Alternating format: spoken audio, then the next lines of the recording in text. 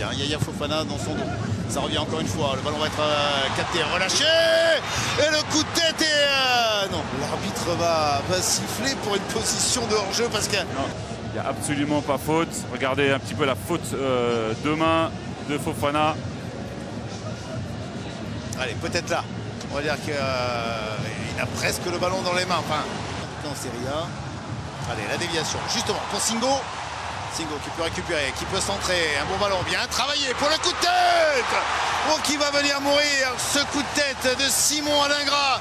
Un peu trop tôt euh, à Dingra. Du coup, il a euh, un peu de mal à, à cadrer cette, euh, cette balle. Mais regardez, hein, il prend le meilleur sur Kaloulou. Il reste longtemps en l'air. Et là, Passy qui avait plutôt bien géré la, la trajectoire. Mais en tout Singo, il a un petit peu d'espace.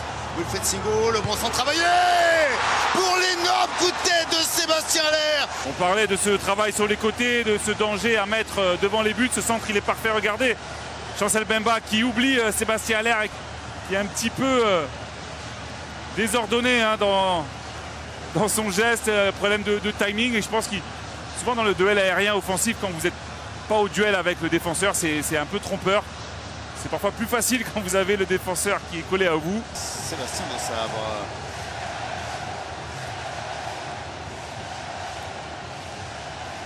Ça, Attention avec euh, Franck Essier qui peut frapper, mais non Et Franck Essier qui met une énorme frappe est plus haut sur le terrain, ça part euh, d'un petit jeu à trois avec euh, Gradel très intelligemment qui remet pour Caissier. Il se pose pas de questions. Regardez hein, la frappe coup de pied, pied gauche de Passy qui été battu.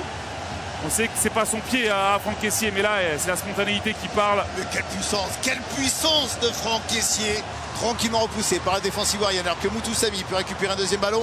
Théo Bongonda, la conduite de Théo Bongonda qui part André maintenant. Bongonda qui va tirer dans le petit filet ivoirien. Il est trois joueurs, malheureusement il n'a pas la lucidité pour fermer un peu plus son, son pied droit. Lui, lui le, le pur gaucher, regardez, hein, il y a même des solutions dans l'axe. Du jeu avec euh, Gradel qui donne pour euh, Caissier. Franck Caissier, attention, il va pouvoir frapper. Franck Caissier s'est repoussé.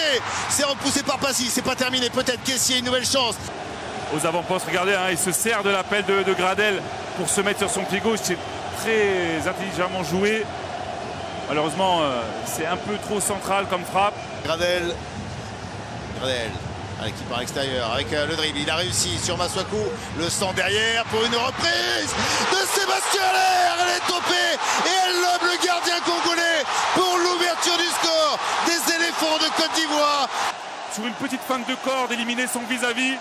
Derrière, c'est Kaloulou qui est trop juste. Et la réussite de l'attaquant. On disait tout à l'heure qu'il attendait le moment un petit peu pour prendre le meilleur sur cette défense congolaise. Honneur du stade et de tous les Ivoiriens. Ah, cette reprise de volée topée par Sébastien Allaire qui se termine dans un lob malicieux, un lob astucieux pour permettre aux éléphants de la Côte d'Ivoire d'enflammer le stade Alassane Ouattara.